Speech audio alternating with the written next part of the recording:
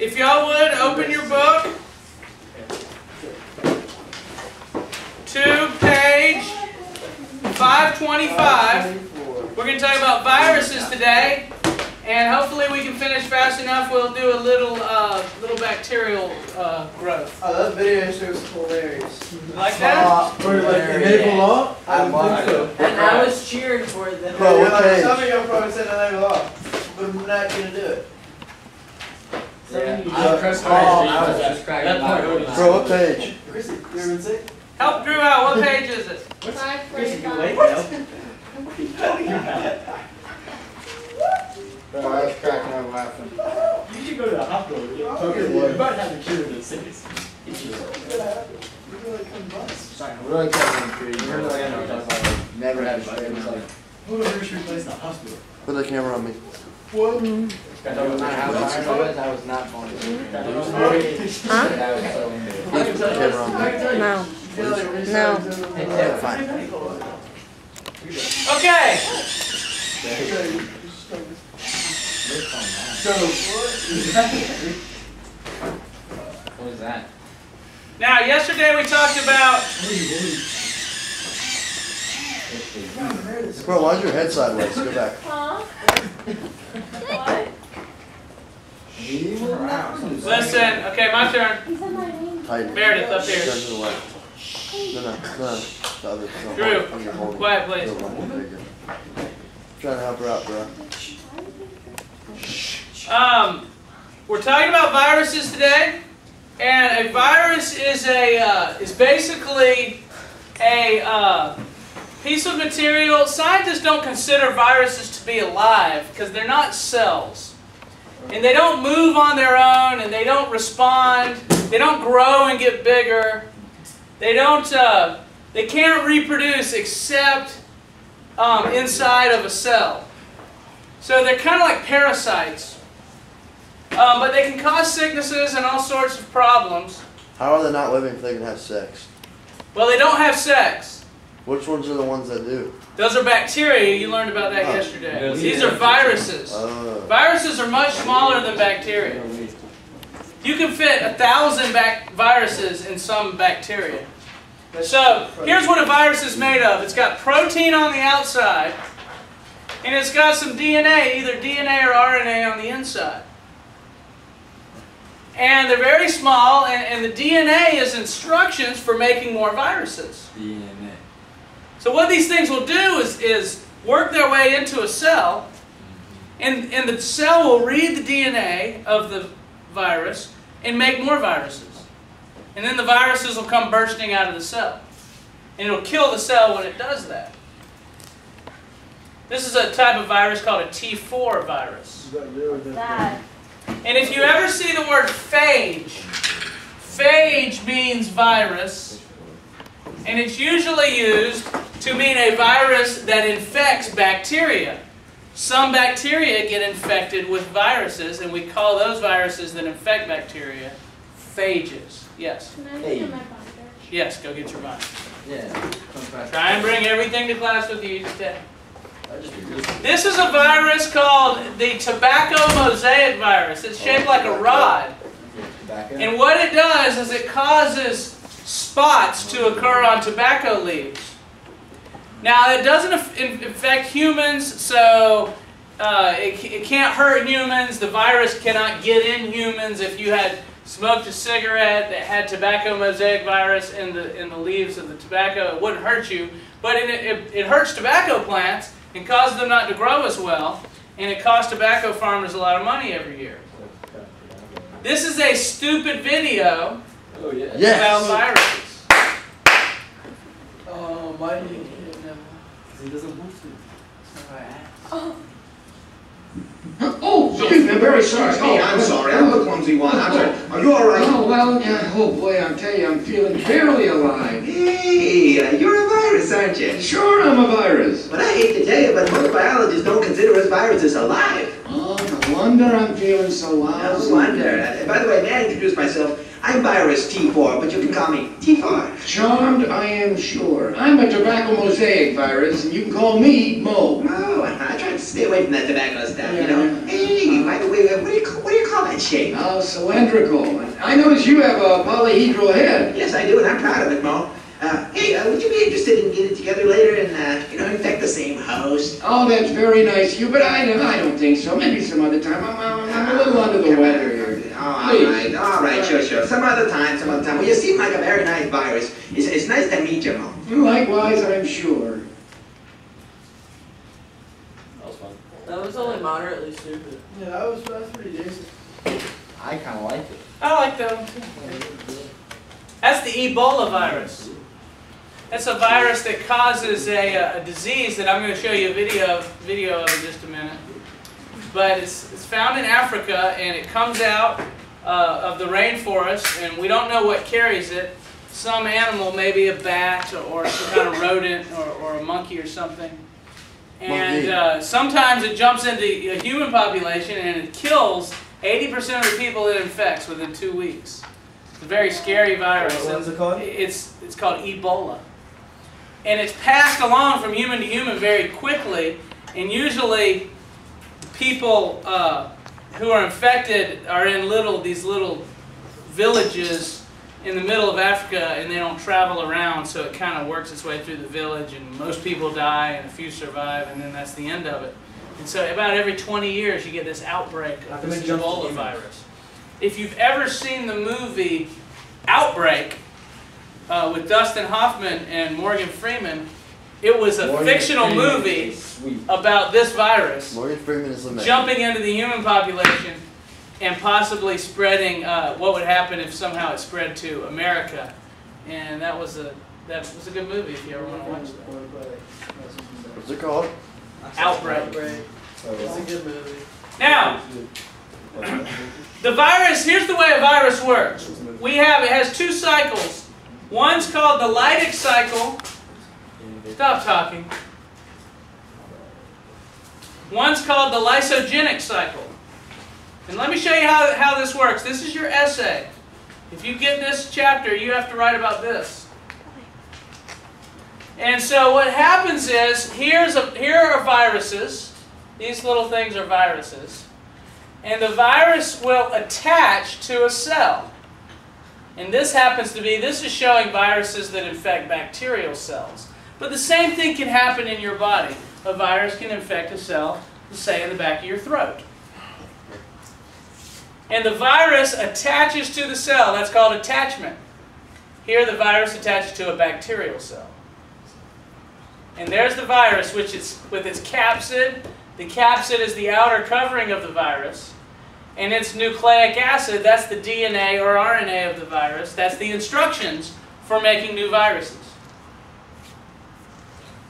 And so first attachment happens, the virus attaches to the cell, and then entry. The virus injects its DNA into the cell. So that little DNA strand is now in the cell. And the cell is kind of stupid. It'll read any DNA that's in there. All cells will. They don't have a way of discerning. And so they'll read the DNA that got injected, and that DNA says what? What's, what's on the viral DNA? What is the code How to make a for? How to make a virus. And so the cell will read that DNA and will make more viruses. And those are the virus pieces. So we call that replication. The bacterial cell makes more viral DNA and proteins. There it is. And then it puts all those viral DNA and proteins together. That's called the assembly phase. It puts them all together. And then release is when the viruses break out of the cell. And that kills the cell. And one cell can release up to 100, uh, even 1,000 viruses. And each virus can go infect another cell, and the cycle starts all over. And this is exactly what happens when you get sick from a virus. Let's say you're drinking after someone in the lunchroom that has a cold.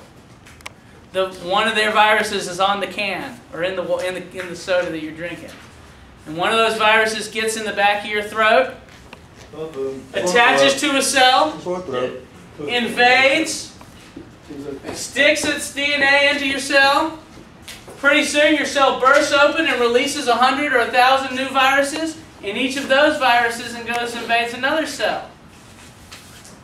the whole cycle takes several hours, so maybe a day later you, you have a thousand cells bursting open releasing viruses. And all that dead cell material runs down your throat and it, it, it makes it itch and you start coughing because all that dead virus stuff running down your throat.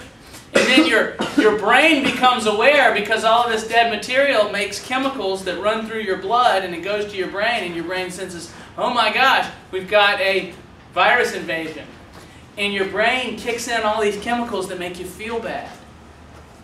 And so you go, oh, I don't feel so good. And what's the purpose of that? It's so you'll lay down. And all of your energy can go to fighting the virus instead of running around doing your normal stuff. That's why you feel bad when you get sick. So then you lay down, and all your energy goes to making new white blood cells that'll go up and fight the virus. Takes a few weeks, but the white blood cells will eventually eat up all the viruses. So if you stay in your bed for a, for a week, your cold will go Well, away. some people, if your immune system is not good enough, you'll never defeat the virus. Enough of your cells die, you die. So a lot of people, usually old people, get sick, don't get better, and that's that might be how you go. Now, there's a there's an even more uh, an uh, even more different phase that can infect cells. It's kind of insidious because it can sit a virus can sit dormant inside a cell for for many many weeks, months, or even years. Tucker, don't put your head down. It's very rude. Thank you. And here's how this works. We call it the lysogenic cycle. A virus attaches, injects its DNA, and instead of the virus immediately making, the cell immediately making more viruses, instead of that, the viral DNA ties itself into the host cell DNA. It forms a little loop there. See, that's the viral DNA, and that's the regular cell's DNA. And now the viral DNA is in with the regular cell's DNA, and this cell goes on living its life as normal. It doesn't even realize it's been infected. And you know what that cell will do at some point? It'll multiply. And one cell will turn into two cells. And each time it multiplies, it also copies the, the viral DNA. And by the way, we call that viral DNA a provirus. A provirus is the bit of viral DNA that sits inside the host cell chromosome. And so this cell can copy itself hundreds of times. You can go from one cell that's infected with a viral DNA to two cells, then four cells. 8, 16, 32, 64, 128, 256. Yes. Pretty soon, hundreds of your cells, this could happen in your mouth, hundreds of your cells have little viral DNA inside their chromosomes. But the cells don't, you don't know it, and you don't realize that you've been infected until at some point, which differs for each type of virus, but at some point, sometimes when the weather changes, or when you're hit with ultraviolet radiation from the sun, or a number of other things, the provirus will jump out and leave the bacterial chromosome or the cell's chromosome, which it does here, and then the cell will read those instructions and make more viruses. And so, if you have this lysogenic cycle virus, you have viral cells, you have cells that have been infected with a virus that lay dormant for a long period of time. Have you ever heard of herpes? Herpes is a virus that does that. And so people, if you ever catch herpes, you have it for the rest of your life. And every every so often you'll have what's called an outbreak, uh, where the uh, where this viruses just start multiplying in some of the cells, and then it'll be dormant for a while, and it'll clear up, and you'll be fine, and then you'll have another outbreak. So, um, uh, cold sores. Have you ever heard of cold sore? Some people could get cold sores. That, that's the herpes virus. That's a form, of, and, and if you have that, you'll have it the rest of your life. Is it true that like 80% of Americans have herpes? That could be true because a lot of people get cold sores. If you drink after somebody who get who has cold sores while they have a cold sore, you could get some of those viruses in you, and then you'll have cold sores forever. Yes. So if you get cold sores, do you have a, a, form of herpes? Yes, called herpes simplex A. Now that's different than the genital herpes. It does the cold sores are outbreaks of virus in your mouth. Genital herpes are outbreaks of virus in your private parts. Neither of them are very comfortable, I'm sure. Do they just, do they just call it Nibble genital off. because it's on your genitals? Nibble off, Yes. nibble off, If nibble it's- and If it's off. on your genitals, they Nibble. call it um, genital herpes. Okay. Yes. Video footage of the lytic cycle. That's the whole entire essay. That's pretty much, The yeah. lytic cycle is a bioreproductive Listen. cycle in which a vi- This is half of your essay. This is the lytic cycle. I bet he says 125 words here. The lytic cycle is a viral reproductive cycle in which a virus takes over all metabolic Watch activities of a cell, through. replicates itself many times, then destroys the host cell. A bacteriophage attaches to a bacterial host cell by recognizing and locking onto a specific receptor site on the surface of the host cell. The virus then injects its DNA into the host cell. The empty coat remains outside the cell. Inside the cell, the viral DNA breaks down the host cell's DNA. The virus then takes over the total metabolic activities of the host cell. By using the raw materials present in the cell, the viral DNA directs the production of new virus parts. The newly produced viral components are assembled into complete new virus particles. The host cell bursts open and releases 100 to 200 new virus particles. These new particles can begin another cycle by infecting nearby cells. Huh. See how that works? That was a good video, bro. Now watch the lysogenic cycle a little bit different here.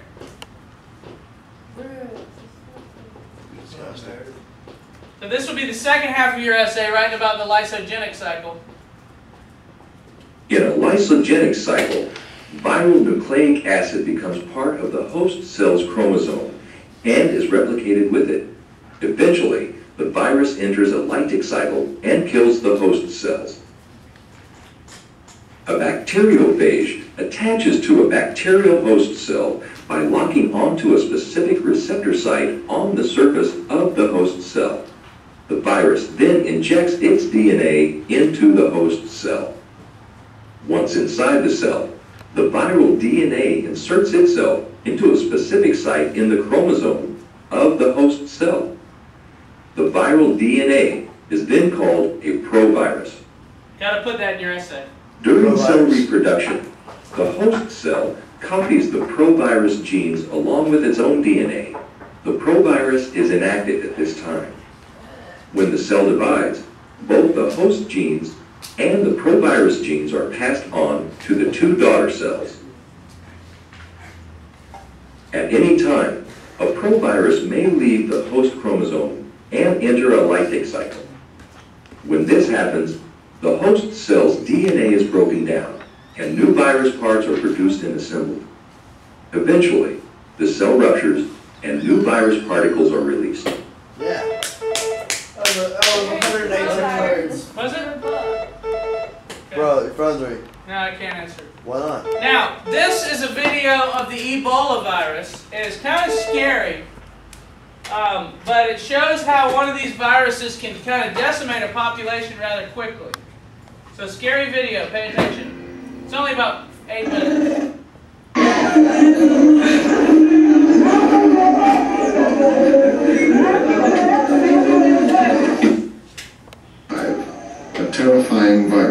Visited grief upon the town of Kikwit in Zaire, Africa. Victims died within days. Tucker. Entire families were wiped out. The killer was a deadly strain of Ebola, a Watch the video. virus so destructive even the corpses are infectious. Anyone who gets near them must be doused in purging chemicals. As the people of Kikwit brought out their dead, a watching world recoiled in horror. The town was quarantined to prevent Ebola from spreading to Zaire's capital, Kinshasa. From there, the deadly virus could have hitched a plane ride to anywhere in the world. The outbreak began with patients arriving at this primitive town hospital, complaining of headaches, fever, nausea, symptoms of any number of common tropical ailments. Soon they were disgorging black vomit and diarrhea dark with blood. Something was eating their insides. The bewildered doctors didn't suspect what was in store. Protective uniforms arrived within a few days, but it was too late. Several doctors and nurses had contracted the deadly disease. Disaster had struck. The skin of Ebola patients becomes discolored as the virus consumes the tissue beneath. The flesh begins to tear spontaneously, and blood, hot with viral debris, hemorrhages forth unstoppably. Doctors call this bleeding out. Ebola attacks every organ in the human body, the brain, liver.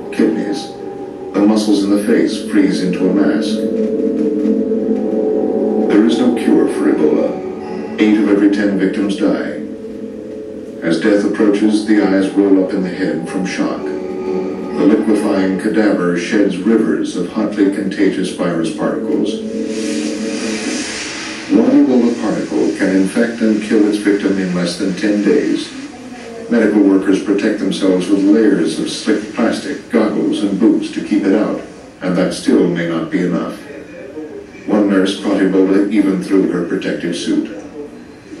Viruses are one of man's most powerful predators. They come in different shapes and from different sources, but they're all alike. They're all parasites, bits of genetic material neither alive nor dead that wait to latch onto a living cell. The threat like Ebola, like all viruses, hijacks the cell's machinery and uses it to make more copies of itself.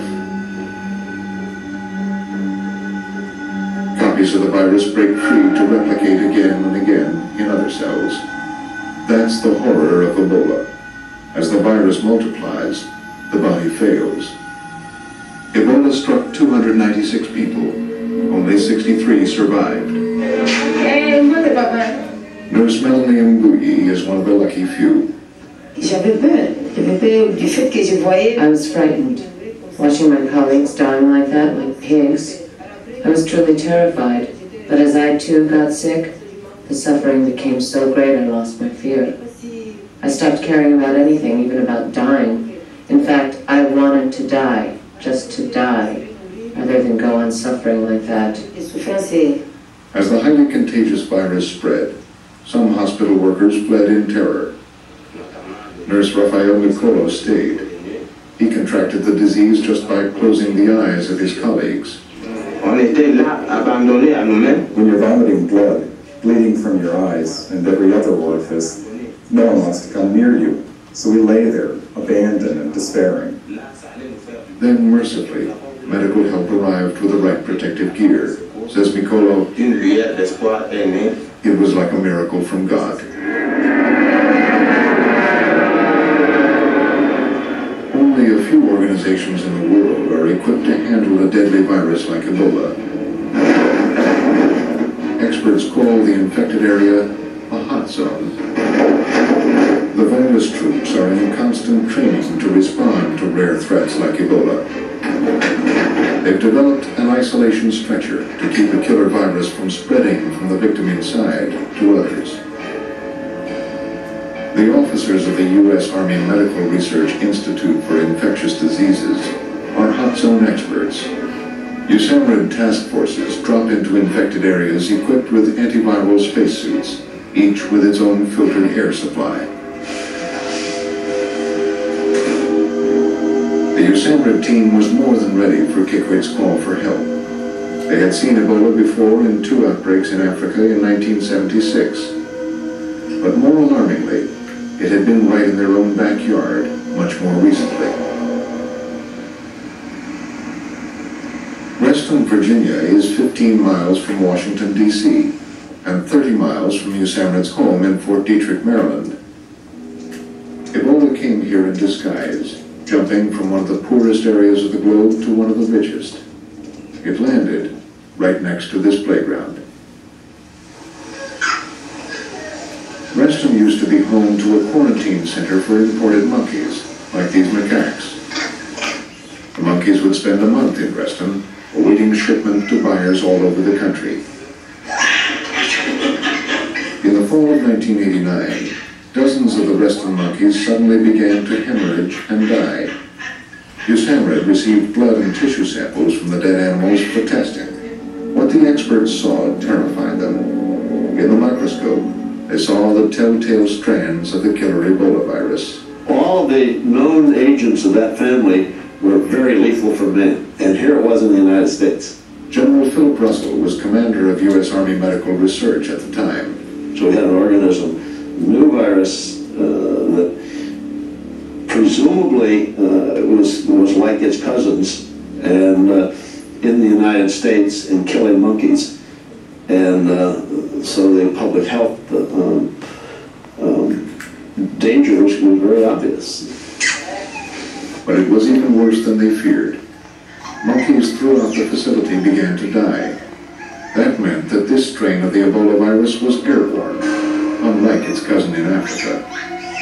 If human workers breathed deadly virus particles, they might contract it. And from there, Ebola could spread throughout the entire Washington area. The Army went into action. They quietly destroyed 500 monkeys and drenched the building with chemicals to kill any remaining virus inside. Eventually, the entire structure was leveled. The monkey handlers never got sick. Researchers studying the virus discovered that this strain of Ebola doesn't affect people, only monkeys. No one knows why this strain is so different from the killer strain. I think we can make a good case for that we ducked a, a bullet, that we were very, very lucky hit. But a killer still lurks in the jungles of Zaire. Finding it is the challenge. Scary. So they just killed 500 monkeys. That's so right. Quietly destroyed them. Quietly. Why would they do that? Uh, Because if they developed an airborne strain that was infectious to humans, it could have killed every person in, in the world. It's That's scary. That's what that movie's about, Outbreak. Don't eat spike. Nuke the whole Why would you want facility. One that's little monkey? Yeah. Drop a That would load be of the coolest nuclear, picture. nuclear metal Yeah. gold in there. Let them all die. Okay, let me show you some virus diseases. Didn't we see these yesterday? Yeah, we saw these yesterday, bro. I showed you, uh, What? I showed you bacterial diseases. Here are viral diseases. Here's the plan. We get the warhead and we hold the world ransom for one million dollars. That's it? Uh, measles. You ever heard of measles? Oh, yeah. And the That's a mom viral that. disease.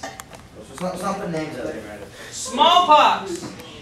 Smallpox, Americans the book that. talks about. This was a viral disorder that was actually eliminated from the face of the planet by scientists who went around to every person and gave them a vaccine. And since this virus only lives in people, not in animals, that stopped the transmission. That's pretty cool. That's good enough. Millions of people died of, of smallpox over the years. Now nobody dies from What's it. a monkeypox? Monkeypox is like smallpox, but it's carried by monkeys, so you can't get rid of it. Bro, what is herpes and warts? Those are those are uh, Got a tumor? Viral diseases too. That's a tumor of the jaw formed by a virus Pretty nasty. called Burkitt's lymphoma. Let's see the herpes in the warts. Shingles results from the varicella zoster virus infection acquired during childhood exposure to chickenpox. The virus can remain latent within the body for years before becoming active. You may have heard of shingles before. You can get rid of shingles though, can't you? I know we got shit. Molluscum, no, it lasts for life. Tumor-like growths that develop in cases of molluscum contagiosum, which is caused by a virus. Mumps. See the swollen area of his chin?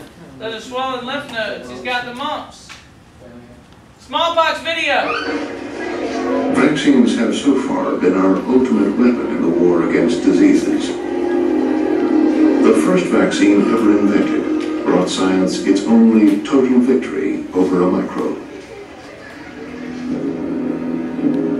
It was a particularly vicious disease that provided our singular triumph. Smallpox. Epidemics down the centuries regularly killed millions of people. The smallpox virus, called variola, attacks the whole body, blistering the skin, invading the intestines, three sufferers. Survivors bear the scars for life. But smallpox had a fatal weakness. The virus lives only in humans. It has no animal or insect host. When we attacked it with a vaccine, it had nowhere else to hide. In the 1960s, the World Health Organization launched a global campaign to wipe it from the face of the earth. In the 50s and 60s, teams of people, volunteers, college students, medical students, in the United States, in England, in Europe, in India, in Africa, went all over the world. And the last natural case of infection with smallpox was October 26, 1977. This Somalian peasant was the last known case. Within a decade, science had won. That's a pretty spectacular scientific achievement. I think it's the, probably the greatest public health achievement that's ever happened. The last surviving specimens of the smallpox virus are locked away in vaults in the United States and Russia. It's a species on death row, scheduled for extermination. Yet mankind stays its hand, debating if the sentence should be carried out. Arthur Caplan is a bioethicist. There is a case for preserving smallpox virus someplace on this globe. The case for it is this.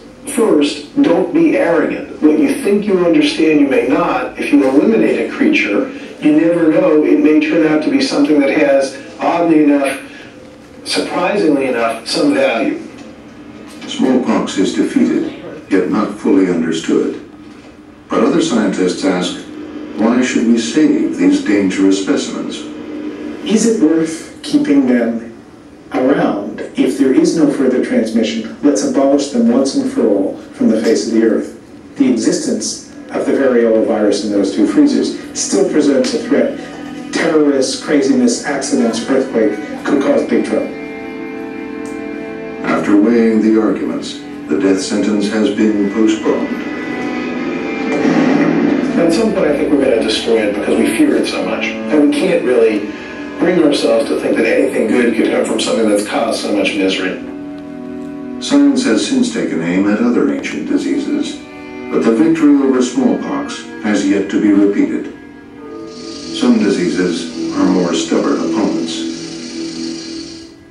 Smallpox is what Cortez brought over and killed almost all the Aztecs. I don't know if you ever studied about that in history. Yeah. yeah. But it's kind of famous, uh, famous disease that just doesn't exist anymore. Have they, have they? We're lucky we lived in this time. Have they destroyed it yet? Nope. The problem with destroying it is this. If it ever came back about somehow, like maybe maybe there's is something carrying it somewhere in the woods that we don't know about, we might need those viruses to make new vaccines. So if you get rid of them, wouldn't that be terrible if somebody had it somewhere, and and then we couldn't make the vaccines quickly because we had get, we'd gotten rid of the organism. So they keep them around. Did- did just- Russia Where do they keep theirs? them? no, Russia still has theirs too. All Russians put it. Where do you keep them? They keep them at the CDC in Atlanta in a big freezer. Russia's got that. And Russia's got them in Moscow. Peace out. Thank you. Read.